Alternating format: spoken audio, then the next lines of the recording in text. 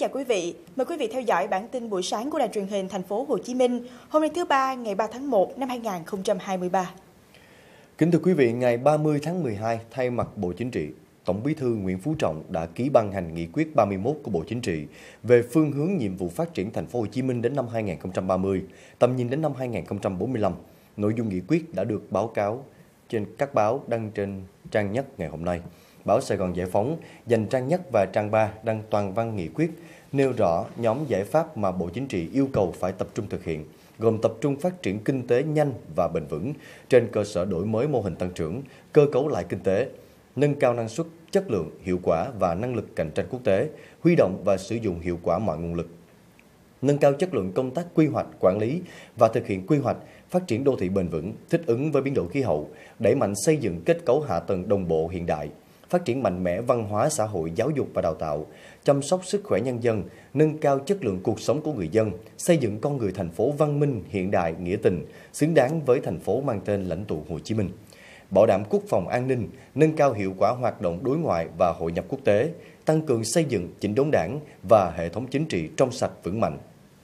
ban hành chính sách, pháp luật vượt trội đẩy mạnh phân cấp phân quyền, phát huy tính năng động sáng tạo vì lợi ích chung của cán bộ thành phố, đáp ứng yêu cầu phát triển thành phố trong giai đoạn mới.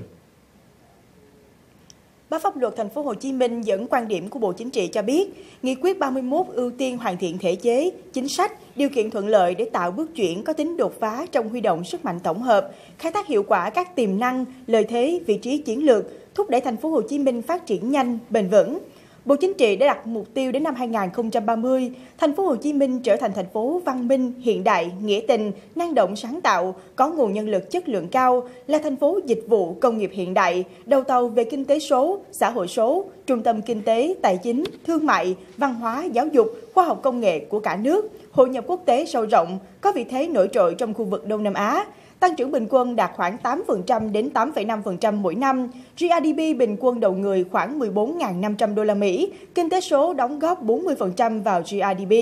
Đến năm 2045, thành phố Hồ Chí Minh phát triển ngang tầm các đô thị lớn trên thế giới, trở thành trung tâm kinh tế, tài chính, dịch vụ của châu Á.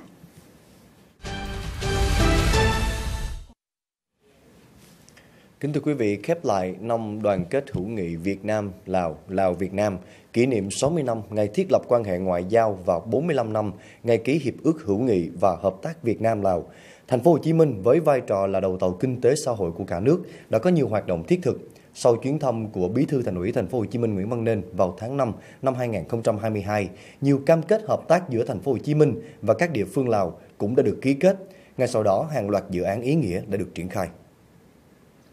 Những ngày đầu năm mới 2023, bà con Việt Kiều và nhân dân Lào tại tỉnh Savanakhet đã đón nhận một niềm vui mới đầy ý nghĩa trong mối quan hệ hợp tác hữu nghị Việt Nam Lào. Sở Văn hóa Thể thao thành phố Hồ Chí Minh khởi động dự án tu bổ và tôn tạo khu di tích lịch sử Chủ tịch Hồ Chí Minh tại tỉnh Savanakhet, Lào. Khi hoàn thành, công trình sẽ là một trong những điểm nhấn văn hóa lịch sử tại Savanakhet và là nơi để bà con kiều bào có thể lui tới trong những sự kiện văn hóa của Việt Nam và Lào. À, khi có cái di tích lịch sử này thì cô mừng rất là tự hào tại vì trước đây là tỉnh Savanakhet mình chưa có nhưng bây giờ mình đã có rồi và đã được tu bổ lại, tôn tạo lại rất là đẹp, rất là à, xứng tầm với dân tộc mình, càng khẳng định uy tín của Việt Nam mình đối với thế giới, đặc biệt là đối với bạn Lào. Trong năm 2022, nhiều đoàn lãnh đạo cấp cao của thành phố Hồ Chí Minh cũng đã đến thăm và làm việc tại Lào.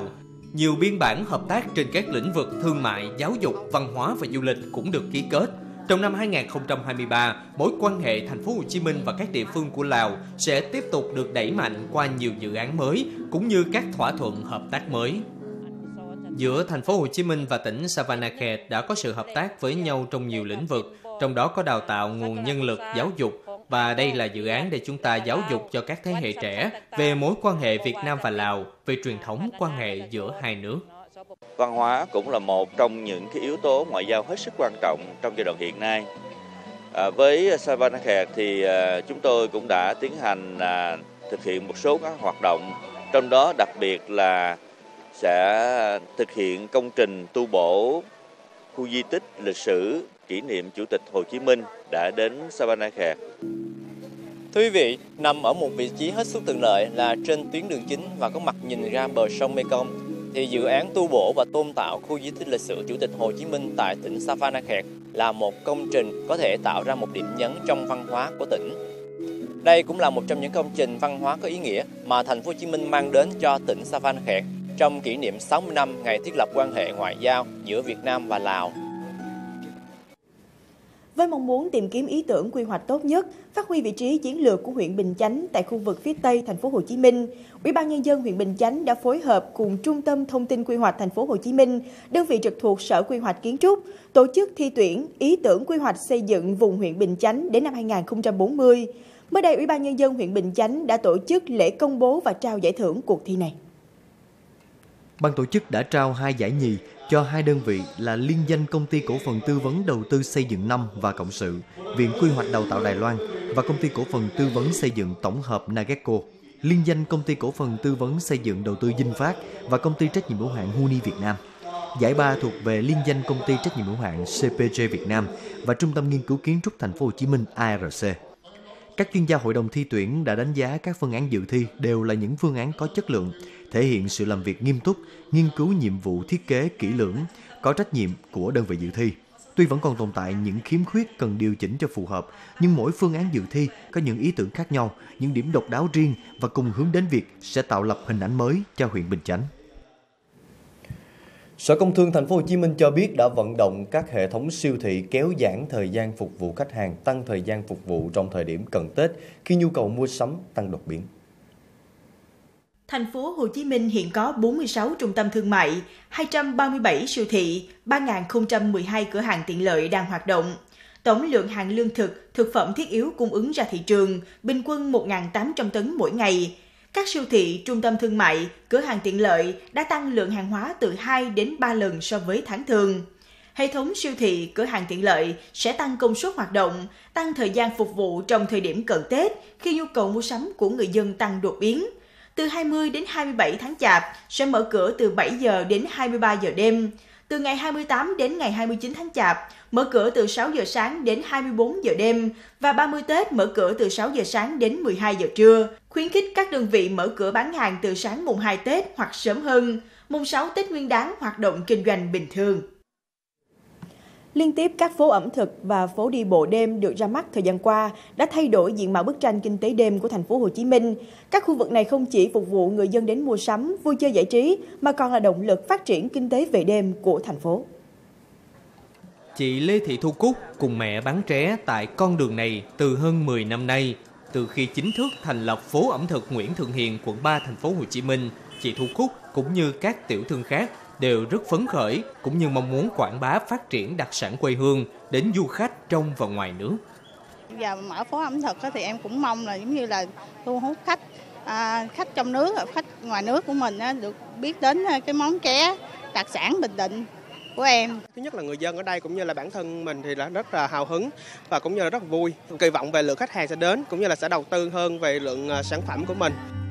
Vừa qua, quận 10 đã đưa vào hoạt động trở lại phố đi bộ đêm khu vực Kỳ Đài Quang Trung, tổ chức đa dạng các chương trình văn hóa văn nghệ, nghệ thuật dân gian, nghệ thuật đường phố, biểu diễn ẩm thực. Trung bình một ngày đón tiếp từ 500 đến 700 khách, vào các ngày cuối tuần đón tiếp hơn 1.000 lượt khách đến tham quan mua sắm. Bên cạnh đó, phố ẩm thực đêm đầu tiên tại khu đông thành phố Hồ Chí Minh cũng vừa ra mắt với tổng diện tích hơn 8.000 m2, có quy mô gần 130 gian hàng mang hương vị nhiều quốc gia, đặc sản vùng miền và cả các sản phẩm thời trang công nghệ cũng đã chính thức hoạt động, mở cửa từ 16 giờ đến 2 giờ sáng mỗi ngày. Ở đây thì em thích nhất là cái đặc sản của Hòn Sơn và Nam Du. Đồ ăn rất là tươi ngon và ờ, đem lại cho mình cảm giác là an toàn. Ở đây làm rất là vệ sinh bán ngày nào là hết sản phẩm ngày đó. Qua ngày hôm khác mình sẽ cung cấp một sản phẩm mới. Đáp ứng cái nhu cầu an toàn ờ, vệ sinh thực phẩm mang đến cho quý khách hàng và cư dân ở đây. Việc liên tiếp ra mắt và đưa vào hoạt động các khu phố ẩm thực và phố đi bộ đêm hứa hẹn mang lại những trải nghiệm mới mẻ và thú vị cho du khách cũng như mở ra những cơ hội đầu tư kinh doanh, từ đó thúc đẩy phát triển kinh tế đêm tại thành phố Hồ Chí Minh. À, đây là một trong những cái hoạt động nhằm phát triển kinh tế, à, ổn định kinh tế, ổn định cái tình hình kinh doanh của người dân, của các hộ kinh doanh cũng như là của doanh nghiệp ở trên tuyến đường này.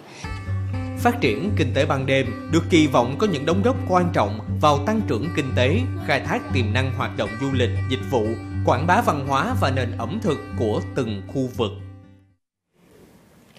Kính thưa quý vị, sáng tạo chính là chìa khóa để giải quyết mọi khó khăn trên nhiều lĩnh vực. Đối với giáo dục để giải quyết bài toán thiếu giáo viên cục bộ khi thực hiện chương trình giáo dục phổ thông mới 2018, năm học này, lần đầu tiên ngành giáo dục thành phố Hồ Chí Minh tổ chức lớp học ảo cho môn tin học và môn tiếng Anh lớp 3. Mô hình hiện đang được thí điểm tại trường tiểu học Thành An, huyện Cần Giờ và trường tiểu học Trung Lập Thượng, huyện Củ Chi. Đây là tiết học ảo môn tiếng Anh tại trường tiểu học Trung Lập Thượng, huyện Củ Chi. Lớp học được thực hiện theo hình thức trực tuyến. Giáo viên giảng dạy là những thầy cô được Sở Giáo dục Đào tạo thành phố tuyển chọn, có chuyên môn tốt, có khả năng giảng dạy tốt trên môi trường số. Giáo viên sẽ dạy từ xa tại Trung tâm Tư vấn Chuyển đổi số thành phố, được đặt tại công viên phần mềm Quang Trung. Còn học sinh tại lớp có giáo viên trợ dạng hỗ trợ. Tuy là lớp học ảo, nhưng với nhiều phương pháp năng động được giáo viên ứng dụng, giúp học sinh hứng thú khi tham gia tiết học năm đầu tiên con được học lớp học ảo con cảm thấy là vui và cô dạy rất là hiểu bài. Gia học lớp học tin học ảo em thấy rất là vui. Tại vì con được học những kiến thức mới rất là bổ ích. Trước đây nếu như không có cái mô hình lớp học ảo này á thì à, các em lớp 1, lớp 2 sẽ không được học tiếng Anh. Vì là số giáo viên không có đủ để dạy hết cho tất cả các em. Nhưng mà có mô hình lớp học ảo này à, thì à, chúng tôi tận dụng được là bố trí các em lớp 4, lớp 5 học một số tiết học ảo thì còn lại cái giáo viên thỉnh giảng chúng tôi còn dư lại một số tiết thì sẽ dạy được các em lớp 1, lớp 2.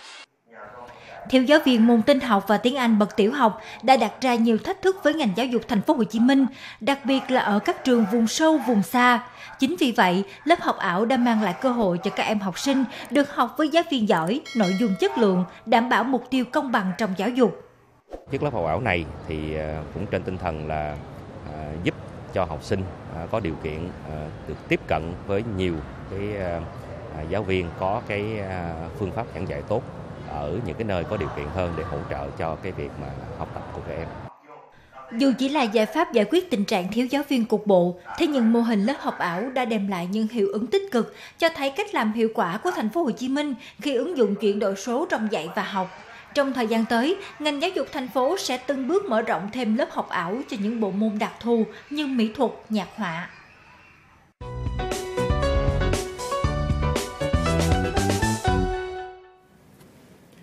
Trang một báo Sài Gòn Giải phóng thông tin từ nay đến ngày 15 tháng 3, cơ quan chức năng sẽ tập hợp ý kiến về dự thảo luật đất đai sửa đổi. Toàn văn dự thảo đã được đăng tải trên cổng thông tin của Bộ Tài nguyên Môi trường cổng thông tin điện tử của Quốc hội, Chính phủ, báo Sài Gòn Giải phóng Online và nhiều phương tiện thông tin đại chúng khác. Đối tượng lấy ý kiến là các tầng lớp nhân dân ở trong nước và người Việt Nam định cư ở nước ngoài, các cơ quan nhà nước ở trung ương và địa phương, mặt trận tổ quốc Việt Nam các cấp, các tổ chức chính trị xã hội, nghề nghiệp, doanh nghiệp, hợp tác xã, hộ kinh doanh, các viện, trường, chuyên gia.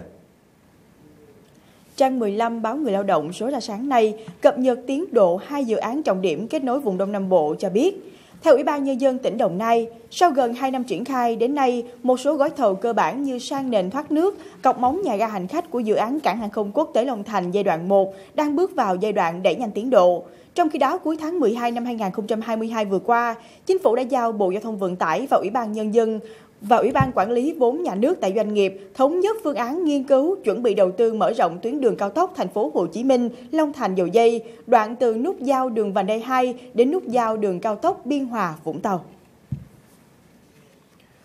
Bộ Giao thông Vận tải cũng vừa ra văn bản yêu cầu các ban quản lý dự án lập ngay kế hoạch tổ chức thi công quản lý chất lượng tiến độ 12 dự án thành phần thuộc tuyến đường bộ cao tốc Bắc Nam giai đoạn 2 tiến hành ngay công tác giải phóng mặt bằng và di dời hạ tầng kỹ thuật, đảm bảo bàn giao toàn bộ diện tích còn lại trong quý 2 năm 2023 theo đúng yêu cầu của chính phủ. Bộ cũng đề nghị các đơn vị tư vấn thiết kế thực hiện nghiêm túc công tác giám sát theo quy định, kịp thời làm việc với chủ đầu tư để giải quyết các vấn đề liên quan đến điều chỉnh thiết kế. Mục tiêu dự án cơ bản hoàn thành vào năm 2025 và đưa vào khai thác vận hành vào năm 2026. Chi tiết trên trang 8 báo pháp luật thành phố Hồ Chí Minh.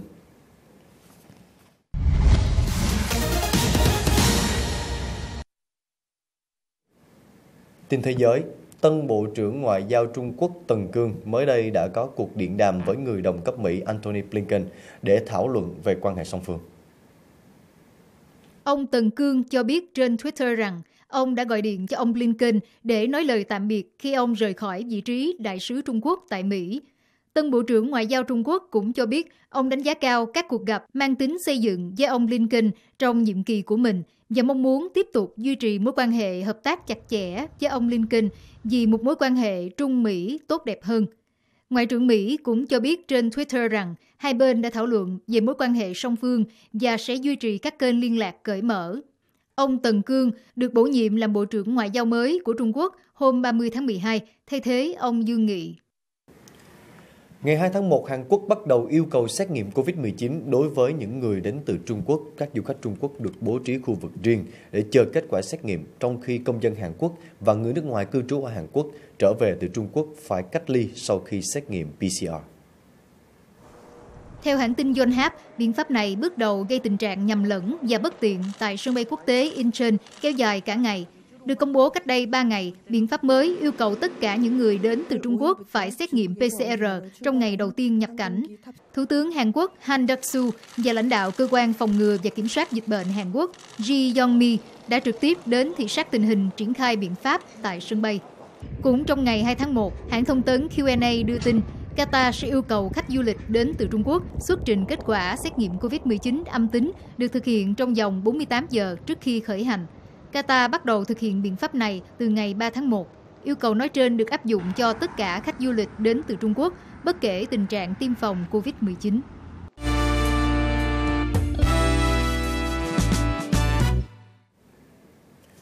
Trở lại với những thông tin trong nước, kính thưa quý vị, đón năm 2023, Thành đoàn Thành phố Hồ Chí Minh vừa vinh danh 12 công dân trẻ tiêu biểu Thành phố Hồ Chí Minh năm 2022, những gương mặt nổi trội của tuổi trẻ thành phố mang tên Bác trên nhiều lĩnh vực. Phóng viên chúng tôi đã có dịp gặp gỡ và trò chuyện với hai trong số 12 tấm gương điển hình đại diện cho một thế hệ trẻ thành phố khát vọng, bản lĩnh, không ngừng đổi mới sáng tạo.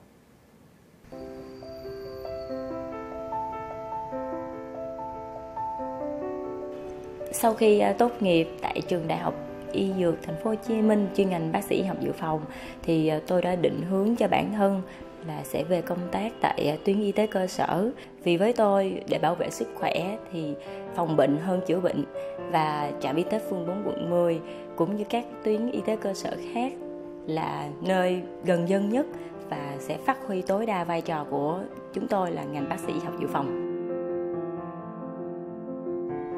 Ngay từ những ngày đầu năm 2020 với nhiệm vụ phó ban chỉ đạo phòng chống dịch COVID-19 tại phường 4, quận 10. Bác sĩ Ái Xuân được phát huy tối đa chuyên môn của mình khi trực tiếp phân vùng, đánh giá nguy cơ, tổ chức các đội hình lấy mẫu xét nghiệm, thực hiện quản lý, chăm sóc theo dõi F0 tại nhà, tham mưu cho lãnh đạo Ủy ban Nhân dân phường các công tác về y tế xuyên suốt 3 năm chống dịch.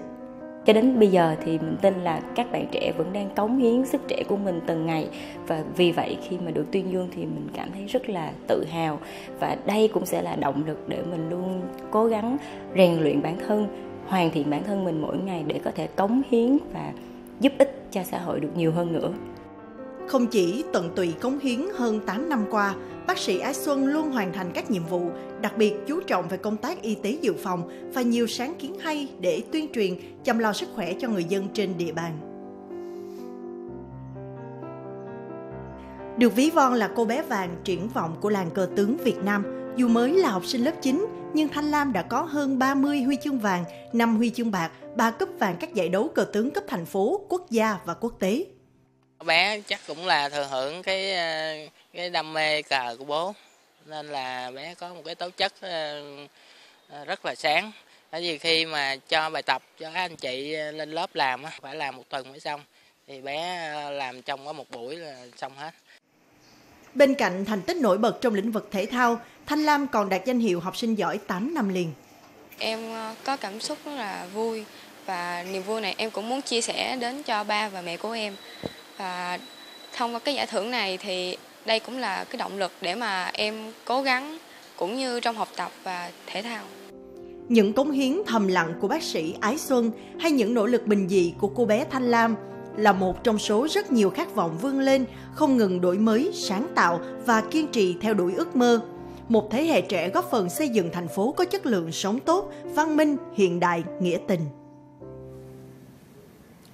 Thưa quý vị, những ngày Tết Nguyên đán Quý Mão cận kề cũng là lúc các bạn sinh viên phải hoàn tất kỳ thi cuối cùng trong năm để chuẩn bị đón Tết. Nhằm khích lệ các bạn học tập thi cử tạo bước đà vững chắc khi ra trường, vừa tạo sân chơi cho các khoa, các ngành giao lưu, một trường đại học đã có một cách làm rất mới, nhận được sự hưởng ứng tích cực từ các bạn sinh viên. Hồi xuân cuối năm với các hoạt động gây quỹ từ thiện. Bộ ly sứ in thông điệp ý nghĩa về gia đình. Những món quà từ tinh thần cho đến vật chất như thế này đã mang đến những cảm xúc rất đặc biệt cho sinh viên trường Đại học Hoa Sen trong những ngày cuối năm. Em cảm thấy rất là vui luôn được tham gia lễ hội mà vui như này. Rất là ý nghĩa là có ba cái ly. Thứ nhất là à, à, con yêu cha con yêu mẹ thì phần quà này em có thể tặng cho ba mẹ của em. Và cái I love you thì em cũng có thể giữ cho em xài. Là san sẻ cho gia đình đều có đủ những cái phần quà tết từ trường của mình. Thông qua đây thì nhà trường cũng muốn uh, dạy cho các em sinh viên về cái tình yêu thương uh, đối với gia đình. À, À, đối với cộng đồng, đối với những người thân yêu ở bên cạnh của mình. Mỗi năm thì nhà trường, ban giám hiệu nhà trường cùng lãnh đạo nhà trường sẽ gặp sinh viên là hai lần. Và năm nay thì chúng tôi chọn cái ngày cuối năm để chúng tôi gặp để thông qua đó cũng ờ, gửi gắm được những cái lời chúc Tết, những cái thông điệp ờ, cho các em để định hướng các em phát triển trong một năm mới để bản thân tốt hơn nữa. Mong là trường ờ, sẽ tạo nhiều hoạt động hơn nữa để cho tụi em sẽ không những là ở vị trí là những người tham gia mà tụi em cũng có thể là những người tổ chức nên một vài cái hoạt động động cùng với các giảng viên cũng như là nhân viên của nhà trường.